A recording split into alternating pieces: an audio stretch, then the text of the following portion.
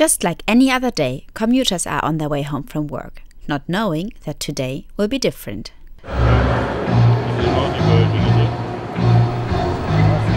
Out of nowhere, music starts playing and people start dancing. It's called a flash mob.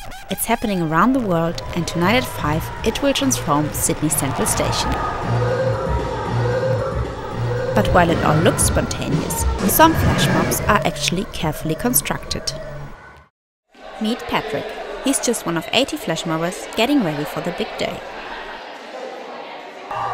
It will be his first flash mob, and he's excited to be part of it.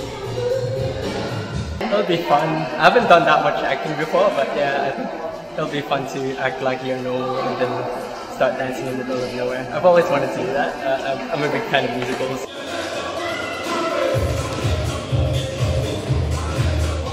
The rules of everyday life are kind of suspended or put aside um, so people can get away with things that they wouldn't normally get away with. But Patrick is not just signing up for fun, it's also to support a good cause. Yeah, I think the, the Wesley Institute does a really good work, um, mm -hmm. especially with kids. And yeah, they, they, um, they really need our support to be able to um, do their research. The idea of using a flash mob for charity came from Raphael Grosjean, who's organizing the event. She thinks flash mobs are the new way of getting your message across. Flash mob are using more and more in, in a commercial way to, to communicate with an audience, and because it's surprising and new, it's going to attract the attention much more. It's part of a Westmead Medical Research Foundation campaign to get people active. It's called the Move Movement, and like all flash mobs, it uses social media. We create an event page on Facebook, uh, which then is able to be spread to all people uh, around. So as soon as you receive this event uh, invitation, you can then spread the word to your friends, which gonna spread the word to their friends. Yeah. But not all the flash mobbers heard about it on Facebook. Um, I was at a barbecue and um, Raphael was there, the, who's organising it, and she we were just chatting about you know what we're doing at uni, and she said she was doing this, and I was like, oh, if there's an opportunity, can I be in it? So. Jessica, a mom and first-time flash mobber, loved the idea so much that she recruited some of her friends. But before the big day, it's time to get together to practice the moves. At a dance center in Glebe, Jessica and the others get a quick crash course in acting, and then onto the routine.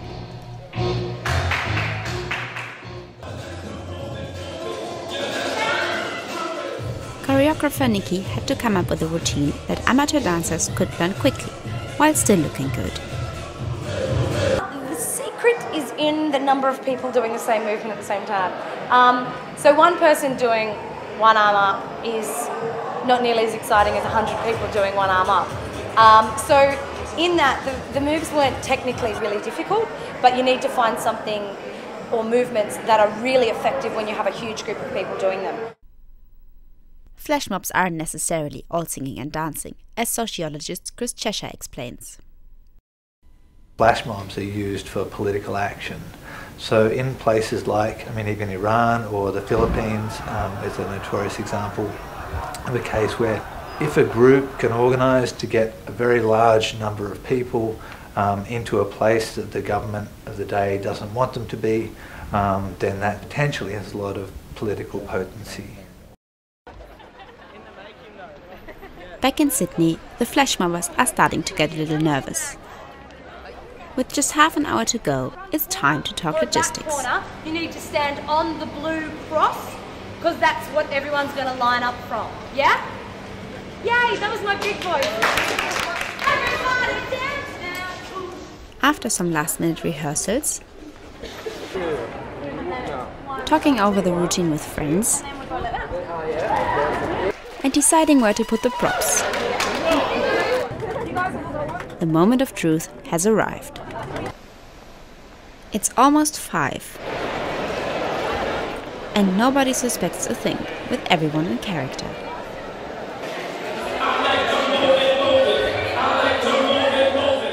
It's showtime, with just one chance to get it right.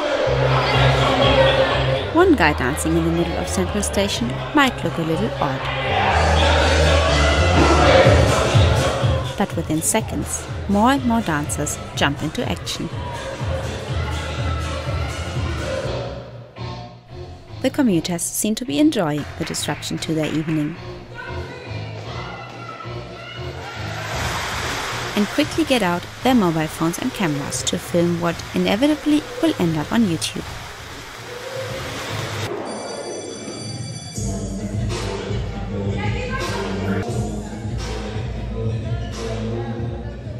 Jessica never thought she would be dancing in the middle of Central Station.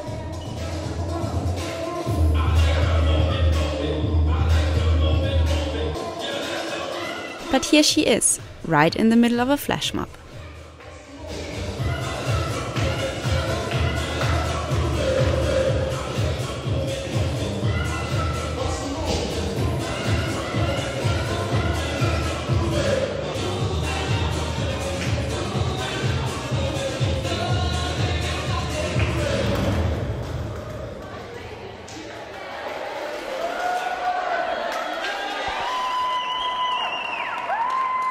Just out of nowhere we all just started dancing. It was so good. It was really fun and everyone was cheering us and filming. So yeah. So what did you think when people just started dancing in the middle of the, the foyer? Lots of fun. Bright and happy and made my evening. Probably made lots of people's evenings. I thought it was a crazy man with a speaker. Everyone is relieved the show went well, and some flash mobbers are still caught in the moment. Um, I'm still looking for other people that I actually came with, but yeah, I think they're still in character. So, yeah. After weeks of organizing, Raphael is happy the day was a success. I cannot find my words. Just perfect. It, look, the energy in there.